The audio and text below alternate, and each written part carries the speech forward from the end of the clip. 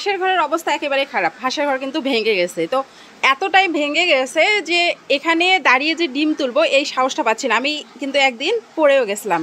তো কতটুকু ভেঙে গেছে আমি দেখাতে পারছি না। কারণ উপরে যে ত্রিপলাটা বিছিয়ে দিয়েছি তার কারণে কিন্তু ভাঙ্গাগুলো দেখানো যাচ্ছে না। তারপরেও কিছু জায়গা আমি দেখাই।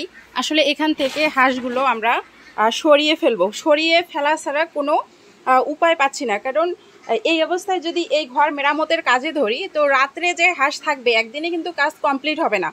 রাত্রে যে হাঁস থাকবে, এর কোনো এখানে আলাদা জায়গা নেই। এজন্য নদীর পাড়ের খামারে আমরা হাঁসগুলো নিয়ে যাওয়ার ব্যবস্থা করব। একদিনে হবে না।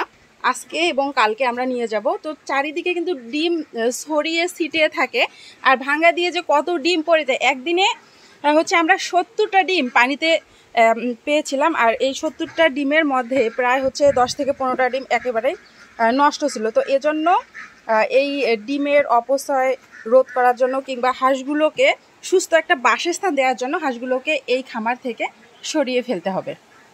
তো দিনের বেলায় হাঁসগুলো খুব সুস্থ থাকে কিংবা স্বাভাবিক অবস্থায় থাকে। কিন্তু রাত্রে যখন হাঁসগুলো আসে তখন আসলে একেবারে একটা ভীতিকর অবস্থার মধ্যে থাকে।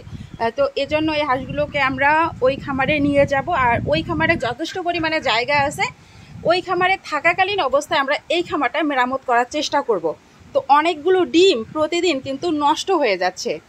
আর এই ইনফরমেশনটা আপনাদেরকে দিলাম কারণ আমার খামারের যে কোনো কাজ করার আগে কিংবা করার সময় আমি আপনাদেরকে জানিয়ে থাকি। অনেকেই জানতে চান যে হঠাৎ করে যদি ওই খামারে নিয়ে যাই এই খামারে যদি আমি ভিডিও না দেই কিংবা এই খামারে ইনফরমেশন না দেই, আপনারা অনেকেই বলতে পারেন যে কেন ওই খামারের ইনফরমেশন দিচ্ছে না কিংবা ওই খামারের হাঁসগুলো কি হলো? এজন্য আমি যখন কোনো কাজ করি খামারে, আপনাদেরকে ইনফরমেশন দেওয়ার চেষ্টা করি। তো এই হাঁসগুলোর অনেক দিন থেকে প্রায় এক সপ্তাহ থেকে অনেক সমস্যা হচ্ছে এই ঘরের কারণে।